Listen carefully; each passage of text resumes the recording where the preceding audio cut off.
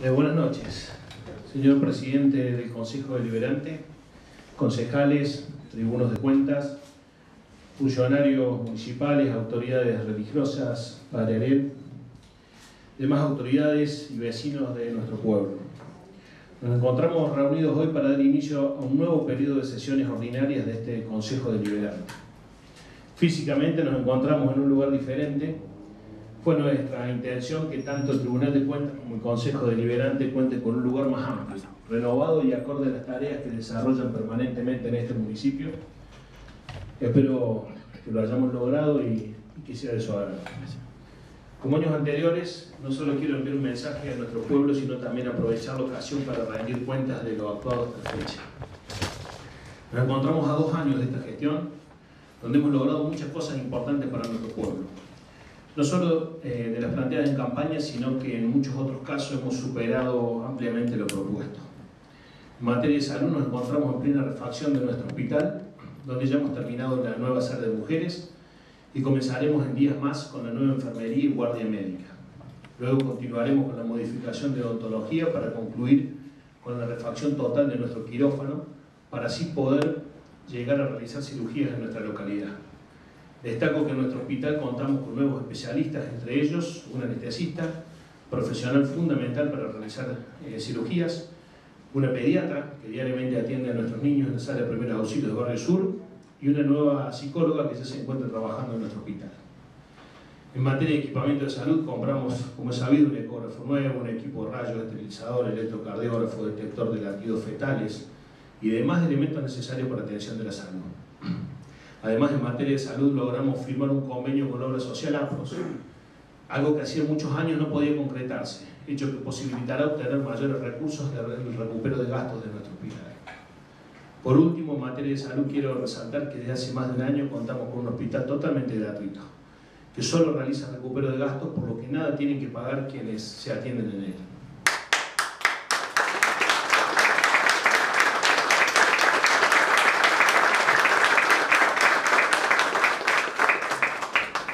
En materia de obra pública, realizamos el asfaltado de ocho cuadras en el barrio hipotecario, obra que nos llena de satisfacción, ya que nuestro pueblo se encontraba muy atrasado en esta materia.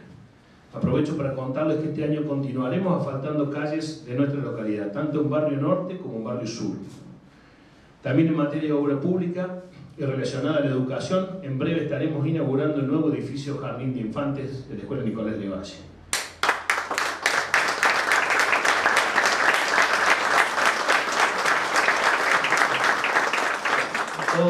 Todo, un anhelo de docentes, alumnos y de nuestro pueblo en general, ya que no contaban con su edificio propio.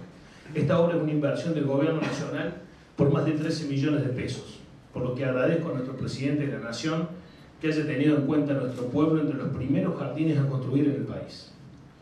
Además de realizar obras de mantenimiento y pintura en general en nuestro pueblo, estamos recondicionando todas nuestras plazas, para así mejorar los espacios de recreación, y en ese mismo sentido hemos continuado con el Paseo Cuco Pérez, para contar con un espacio más recuperado al costado de nuestro andén, iluminado y seguro para que nuestros vecinos puedan disfrutarlo todos los días.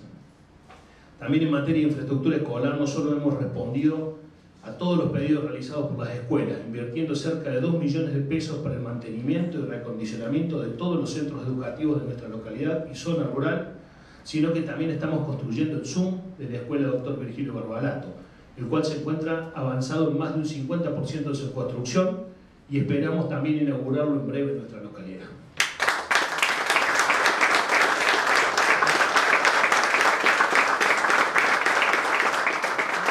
En materia de educación, con relación a las becas de estudio en nuestro pueblo, la Bobulaya del Río Cuarto, este año entregaremos más de 100 becas de estudio.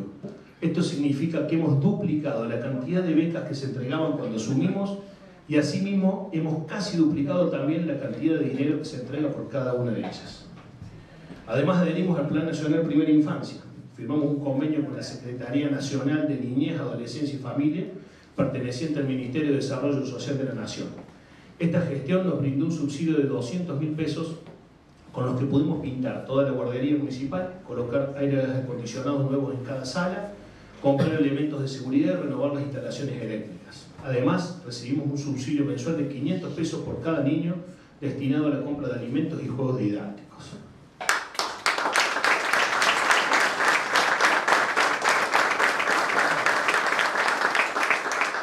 En materia de servicios, a fin de mantener nuestro pueblo limpio y ordenado, hemos realizado una inversión histórica en nuestro pueblo.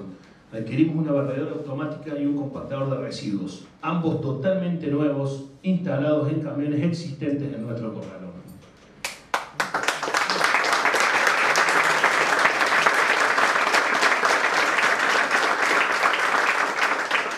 Materia de empleo, logramos que el Ministerio de Trabajo de la Nación autorice la apertura de una oficina de empleo destinada a fomentar y poner en marcha, en marcha los programas de empleo de la Nación en nuestra localidad. Más de 100 jóvenes ya empezaron a trabajar por este medio, lo cual la verdad nos llena de orgullo. En otro sentido, en nuestro querido hogar de ancianos tuvimos que realizar importantes reformas, no solo por el incendio sufrido, sino también porque los techos y demás construcciones no se encontraban acordes a lo que Presa y PAMI solicitaban para brindar sus respectivas habilitaciones. En este edificio se invirtieron más de 850 mil pesos para cubrir techos, colocar barandas, construir una enfermería, colocar matafuegos y demás elementos de seguridad, para así poder lograr la tan ansiada habilitación de PAMI. Y hace pocos días recibimos la gran noticia. Después de muchos años, volvemos a ser prestadores habilitados de PAMI lo cual generará un beneficio económico directo para nuestro hogar de ancianos que superará los 400 mil pesos mensuales.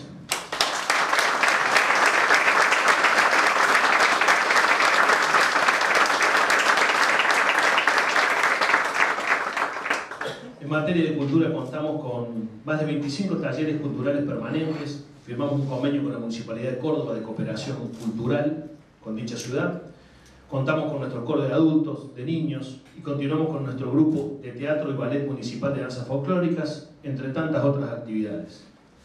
Asimismo, en materia cultural logramos crear el espacio cultural Martelli, en lo que fue la ex clínica, un lugar donde funciona nuevamente, después de tantos años, nuestro museo y archivo histórico, y donde se desarrollan múltiples actividades culturales y talleres en oficios.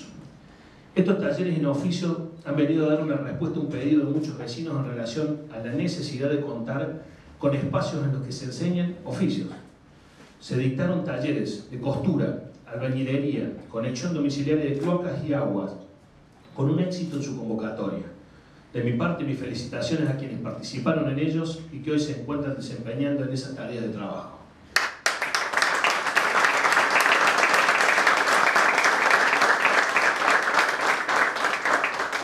En materia deportiva continuamos con muchos deportes, pero este año sumaremos otros, siempre sabiendo que el deporte es fundamental para grandes y chicos. En este año continuaremos también con nuestra maratón de Valle Corre a realizarse el próximo 18 de marzo.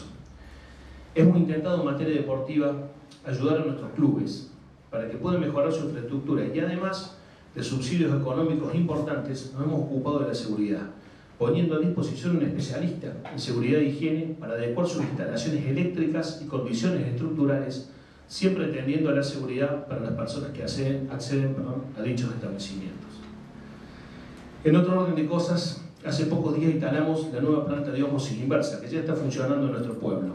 Esta, plan, esta máquina viene a dar una solución en relación a la cantidad y calidad de agua potable que se produce para todos los levallenses. Por último, en materia de obra pública, cómo no contarle los avances de nuestro querido proyecto Hábitat, que tanta satisfacción nos da día a día. Es emocionante ver cómo se suman calles de cordón cuneta a nuestro barrio sur. A la fecha llevamos construidos 3.500 metros de cordón cuneta. Emociona ver las nuevas columnas de luminaria fabricadas por el personal de nuestro propio corralón municipal y ver cómo avanza la obra de cloacas rápidamente para brindar un servicio tan importante. A la fecha, 24 cuadras de Barrio Sur ya cuentan con su tendido red cloacal y todavía falta mucho más, porque tenemos que construir muchas calles de asfalto, como así también iniciar en pocos días la construcción del Polinido, un edificio que comprende un polideportivo techado, baños, vestuarios, salas de capacitaciones y muchas cosas que realmente cambiarán nuestro barrio sur. Sin miedo a equivocarme, creo que será o es un antes y un después en nuestro pueblo después de esta obra de más de 95 millones de pesos.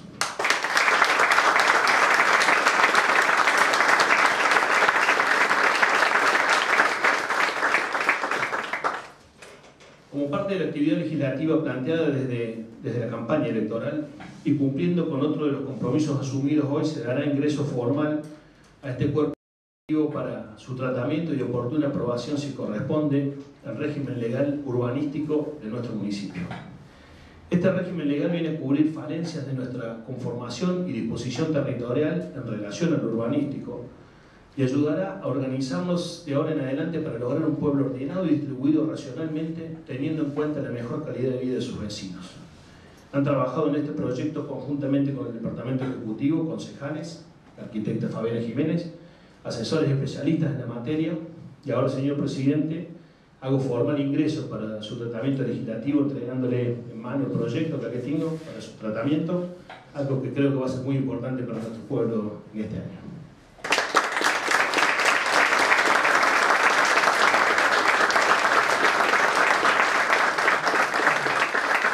En pocos más, sumado a este proyecto, vamos a agregar lo que es el código de edificación, algo que también estamos trabajando actualmente, conjuntamente con el arquitecto Jiménez también, porque es complementario de este, de este proyecto y créanme que viene a solucionar grandes problemas que nos ocurren diariamente en todas las construcciones de nuestro pueblo.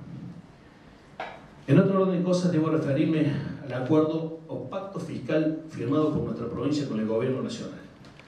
Lamentablemente no se nos incorporó a los municipios en esa discusión, pero se nos pide por parte de la provincia que bajemos tasas, que quitemos presión fiscal sobre los contribuyentes.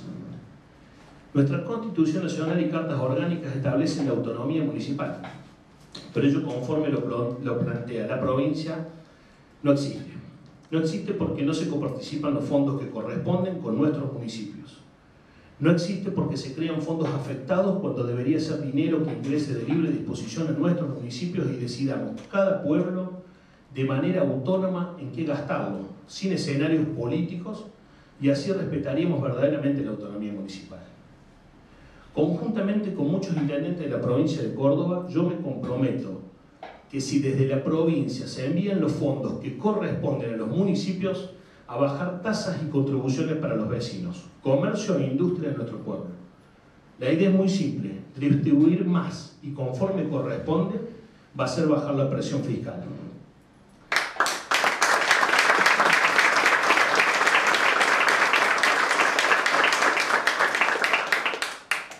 Por último, quiero dar una, una, noticia que le va a hacer muy bien a nuestro pueblo. Hemos firmado con el Gobierno Nacional un convenio para el financiamiento de viviendas en General de Valle por un monto aproximado de 13 millones de pesos. Conjuntamente se iniciará un plan de construcción de viviendas, el cual tendrá tres tipologías de vivienda conforme a los ingresos de cada familia. Es de destacar que serán viviendas de uno y dos dormitorios, de diferentes calidades en su construcción. En todos los casos se deberá hacer una entrega de dinero para luego pagar una cuota. Existirá, también existirá la posibilidad eh, y requisito fundamental de contar con inversores que quieran adquirir una vivienda de contado para así poder financiar la mayor cantidad de viviendas posibles a quienes, no tengan el dinero, por supuesto. La cantidad de vivienda y tipología se va a decidir según la cantidad de interesados inscritos, según cuántos inversores nos acompañan y conforme los intereses de quienes quieran adquirir una vivienda. Es por eso que invitamos a los interesados a anotarse en nuestro municipio desde el día lunes para así poder confeccionar dicho plan de viviendas, el cual queremos que tenga un mínimo de 30 viviendas y un máximo de 50 como primera etapa de construcción. Quiero que sepan que el éxito de estos planes depende de muchas cosas, pero fundamentalmente de la cantidad de inversores que nos acompañan y fundamentalmente de que quienes logren acceder a una vivienda sí o sí paguen sus cuotas. El éxito debe traducirse en la construcción permanente de viviendas en nuestro pueblo. Por lo tanto, invitamos a los interesados que desde el día de lunes se acerquen. Va a haber tiempo para anotarse, así que no hace falta que vengan todos el día de lunes, pero que se acerquen para que uno por uno vayamos viendo cuál es la situación personal de cada uno y puedan acceder a este, a este plan de viviendas.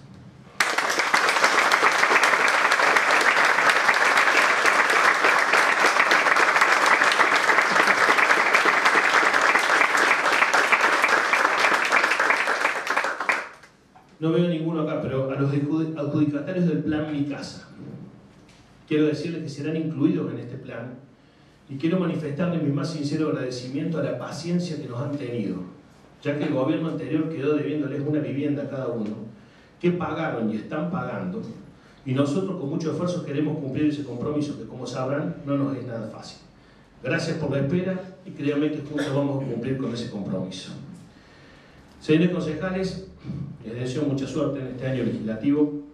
Junto al Tribunal de Cuentas espero disfruten las instalaciones, las nuevas instalaciones.